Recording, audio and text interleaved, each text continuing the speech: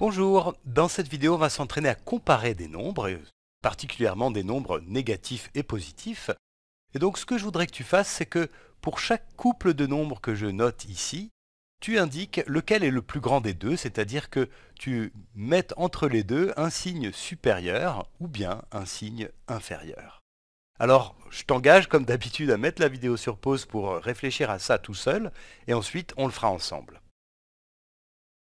Alors, on va réfléchir à ça ensemble. On va commencer par essayer de comparer ces deux nombres-là. Hein. Quand je dis comparer, c'est vraiment dire lequel est le plus grand des deux. Et euh, bon, on a ici moins 7 quarts et moins 3 quarts. Alors tu vois, ce sont tous les deux des nombres négatifs. Déjà, c'est une information. Et ce que je vais faire pour aller un peu plus loin, c'est que je vais les placer sur la droite graduée tous les deux. Voilà. Et comme ce sont tous les deux des nombres négatifs, ils sont tous les deux à gauche du 0, donc je vais placer le 0 ici. Et puis on a moins 3 quarts et moins 7 quarts. Donc ce que je vais faire, c'est représenter des quarts, et il faut que j'aille jusqu'à 7 euh, quarts de ce côté-là, vers la gauche.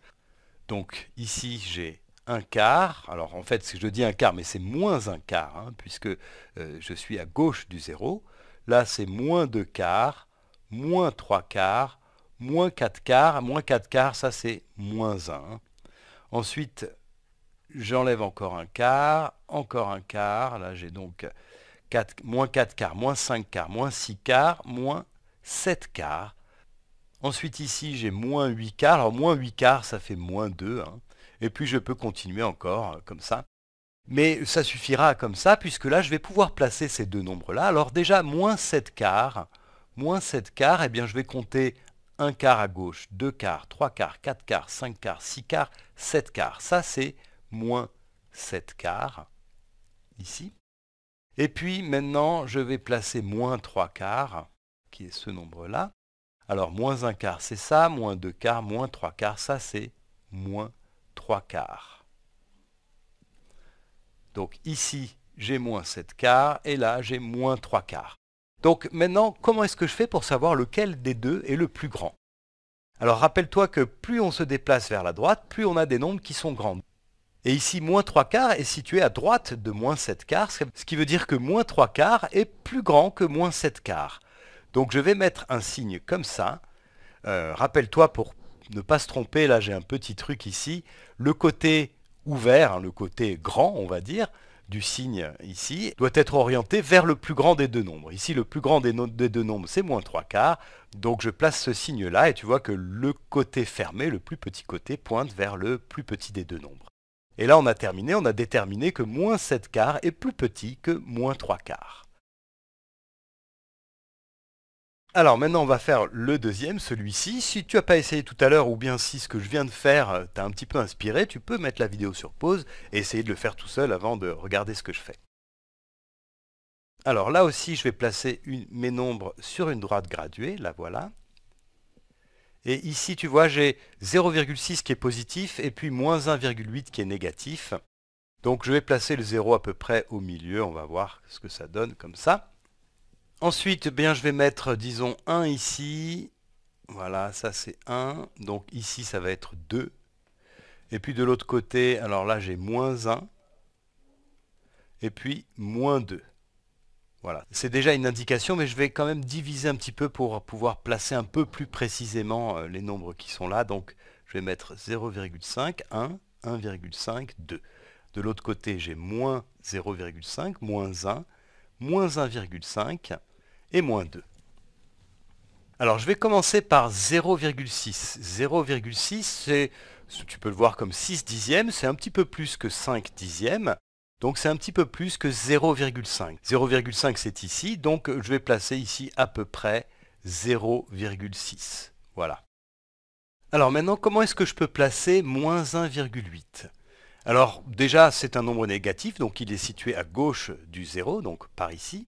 Et puis tu vois que ici c'est moins 1, donc je ne suis pas allé assez loin. Ici c'est moins 1,5, donc il faut que j'aille encore un peu plus loin. Là c'est moins 2, donc ça c'est trop loin. Ce qui veut dire que moins 1,8, ça sera à peu près ici. Hein. Grossièrement, c'est là.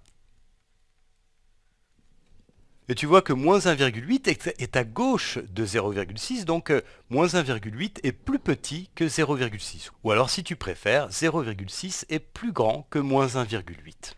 Voilà, alors en fait ça, euh, tu aurais pu répondre tout de suite à cette question-là, puisque tu vois que 0,6 c'est un nombre positif et moins 1,8 c'est un nombre négatif, et évidemment, tous les nombres positifs sont plus grands que tous les nombres négatifs, puisque les nombres positifs sont à droite du 0, alors que les nombres négatifs sont à gauche du 0. Donc un nombre positif est forcément à droite d'un nombre négatif.